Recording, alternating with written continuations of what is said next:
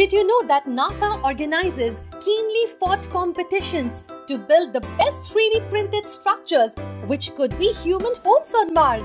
And if you're still stuck at that boring 2D paper printing, did you know that 4D printing is well and truly on its way? The fourth dimension is time, which changes a 3D printed shape. Did you know that India was the first country in the world to enter Mars orbit in its very first attempt with the Mangalyaan mission? Did you know that you could get a VR headset and use apps like Wonder and Gala 360 to actually be at any place on earth, see and feel the real thing?